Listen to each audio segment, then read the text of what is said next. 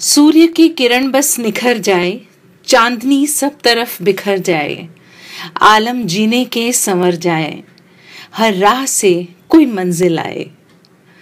German कवि गेटे ने कहा था by blowing alone you cannot play the flute you must also use your fingers केवल मुँह से फूंक मारकर बांसुरी नहीं बजाई जा सकती।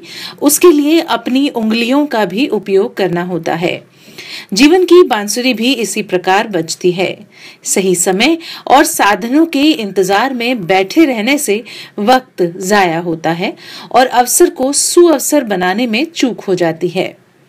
जो मौका हाथ आए, उसे उपलब्ध साधन जो भी अवेलेबल मीन्स हैं, उनके सहयोग से तुरंत एग्जीक्यूट करना बेहतर है। जो लोग काम को टालते हैं, वो खुद के साथ विश्वासघात करते हैं। Procrastination is the thief of time हमारे शास्त्रों में भी लिखा है, कल करूँगा या कल किया जाएगा, ऐसा मत कहो।